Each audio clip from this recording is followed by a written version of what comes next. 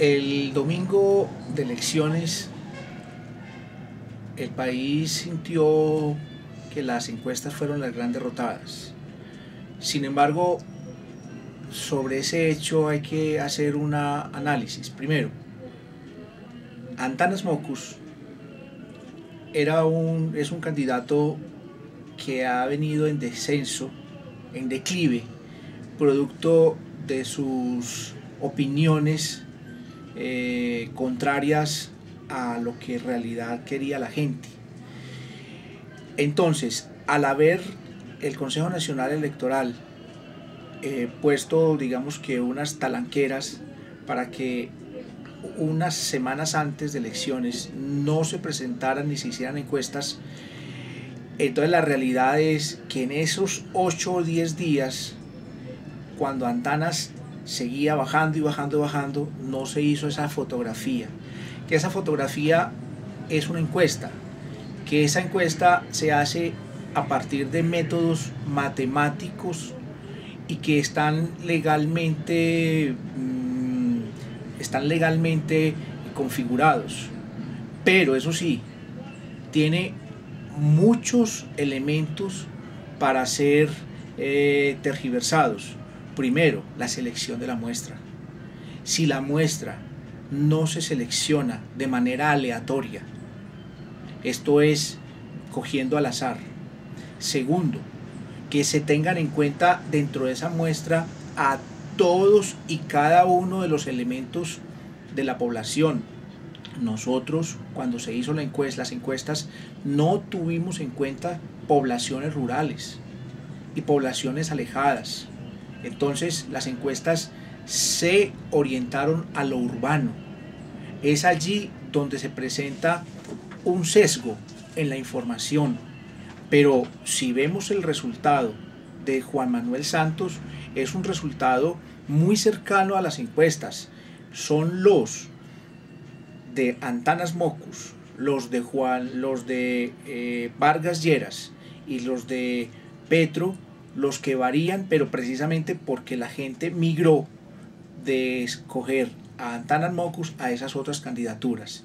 Entonces, en resumen, yo creo que las encuestas son un instrumento matemático válido siempre y cuando cumplan con las cánones de la, de la probabilidad y de la estadística, donde hay eh, elementos de confianza, donde hay elementos de error, y todo esto orientado con una muestra adecuada de una población que en este caso tiene muchas dificultades como son acceso a poblaciones eh, rurales muy apartadas de nuestro territorio nacional. Pero además de lo científico existía sobre las firmas encuestadoras una duda de la opinión respecto de la manipulación que querían hacer eh, apoyando a un solo candidato.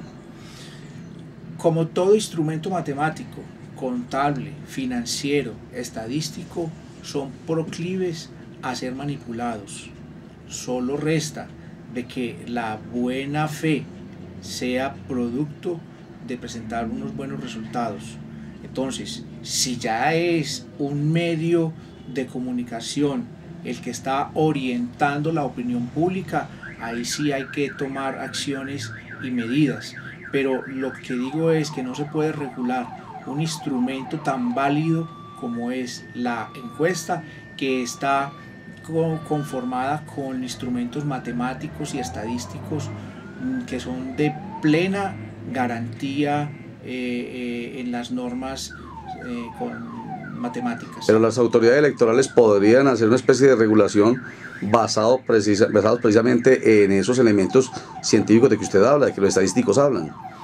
Desde luego. Mm, sin embargo, pues aquí se está presentando ya es la, la, la, desconfianza de la firma encuestadora y que el Consejo Nacional Electoral eh, oriente la muestra, el Consejo Nacional Electoral identifique la población objeto, pues eh, eso sería casi que que, una doble manipulación.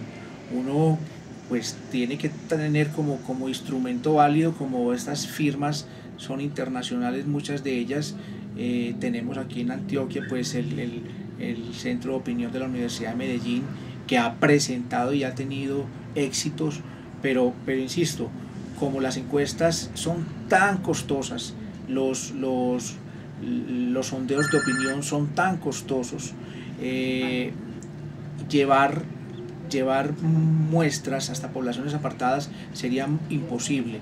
Entonces aquí lo que tiene que, que mm, darse cuenta es, yo recomendaría que las encuestas llegan hasta el último día de elecciones, hasta el último día de elecciones y que se haga, digamos, responsables penalmente a los encuestadores en caso de comprobárseles que quieran direccionar la opinión pública.